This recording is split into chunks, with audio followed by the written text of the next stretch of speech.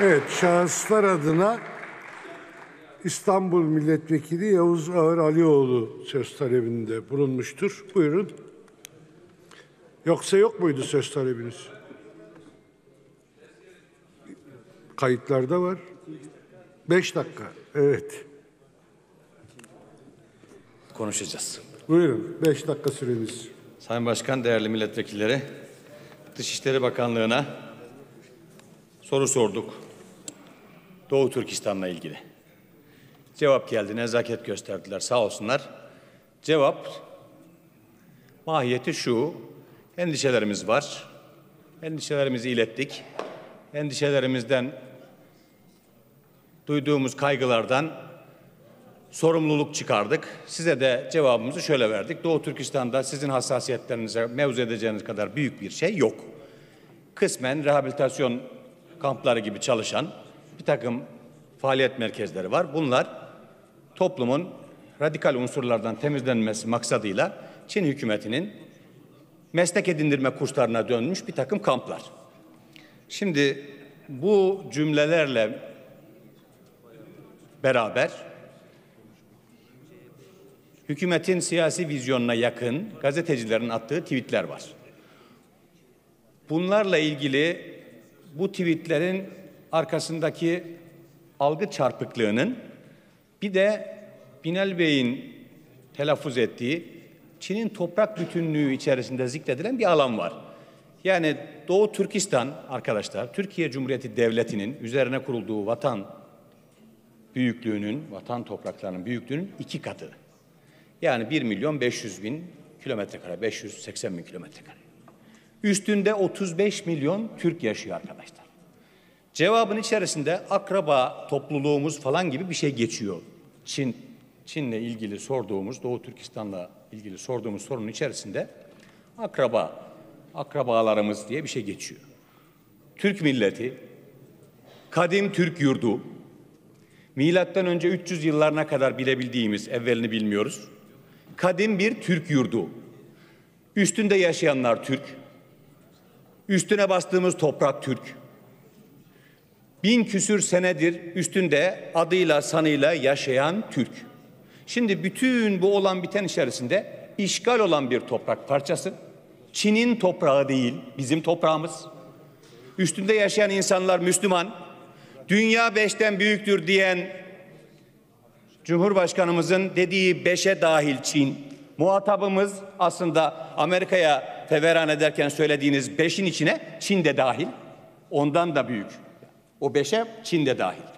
Orada dünya beşten büyüktür diye haklı hassasiyetlerimizle kızdığımız, Kudüs çiğneniyor diye hassasiyet gösterip avazımız çıktığı kadar bağırdığımız, Müslümanlığımız ayaklar altında eziliyor, izzeti nefsimize ziyan ediliyor diye feveran ettiğimiz ümmet-i Muhammed bütünlüğü içerisine Türkler de dahil arkadaşlar. Türkler de Müslüman. Oradaki Türkler de Müslüman. İzzetlerine, iffetlerine musallat olunan kardeşleriniz. Mevzu konuşulunca bir de şöyle bir adet başladı. Efendim neymiş?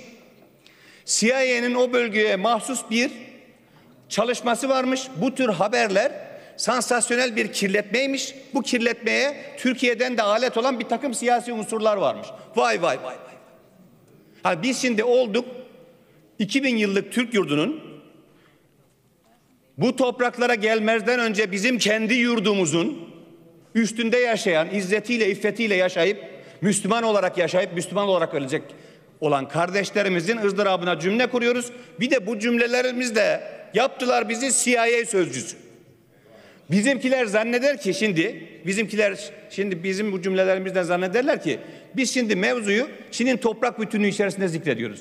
Aziz arkadaşlarımız bu toprağın üstünde yaşayanların çığlıklarını duymazsak biz Aliye İzzet Begoviç'in şu sözüne konu olacağız. Her şey olup bitecek, akılda kalan sadece dostlarımızın sessizliği olacak. Kudüs'e hassasiyet gösteriyoruz, haklıyız. Arakan'a hassasiyet gösteriyoruz, haklıyız. Suriye'ye hassasiyet gösteriyoruz şu anda, haklıyız. Irak'a hassasiyet gösteriyoruz, haklıyız. Sanki, sanki efendim CIA'nın o bölgedeki hesapları var da Suriye'deki hesapları biz Efendimizin kabrinde Medine-i Münevvere'de Ervah'la beraber toplandık orada planladık. Suriye kimin planı? Suriye'de bunca kanın gözyaşının arkasında kimin alçak hesapları vardı?